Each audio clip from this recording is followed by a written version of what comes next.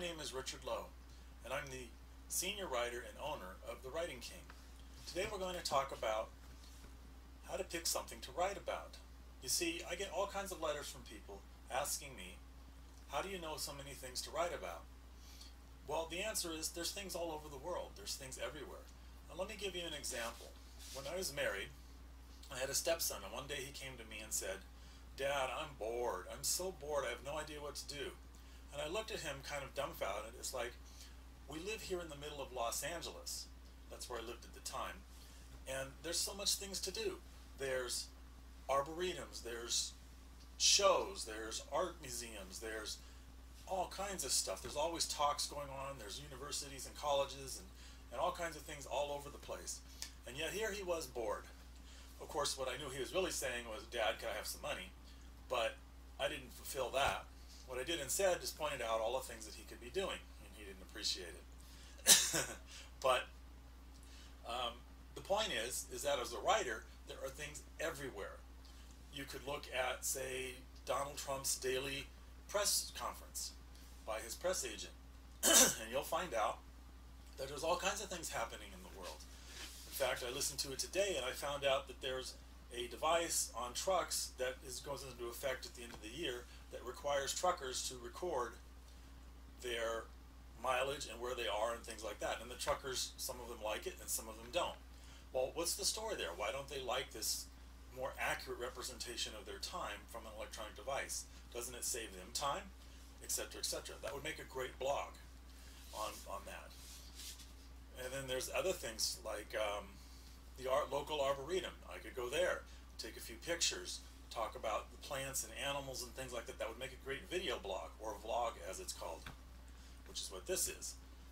There are just so many things in the world. I've got things in my life. When I was a child, I was beat up by a bully, and I handled the bully and finally got him to stop beating me up. How did that happen? That would make a great children's book. How to keep a bully from attacking you and how to get over that. Or from my adulthood, I was the vice president of a company. Two of them, in fact. And this gives all kinds of hints as to how did I do that? How did I go from being a student in college in 1981 to being a vice president of a company in 1982? That's quite an accomplishment. And I managed a staff of 20 people. I've written about those kind of things actually in some of my books. These are things in my life that I could write about. And you have things in your life too. How did you get hired? How did you feel when the first time you were let go, if you were let go from a job? How did you handle that? Um, you could talk about romance. You could talk about relationships, human rights. There are so many things out there to write about that it's incredible. Now, there's a different question is, what can I write about that other people are interested in? And that's a subject for another podcast.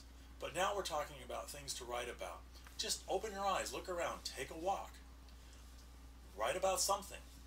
Google something on the internet. You could probably even go on the internet, I haven't done this, but you could probably do this and say, what can I write about? And I'll bet you some stuff would come up. Google is great for that. And just just get curious and start looking at the world and start looking at your life and your friend's life and your parents' lives and the grandparents and everybody in the world and people from other cultures and people of other races and religions and orientations and all that kind of stuff. There are so many things to write about.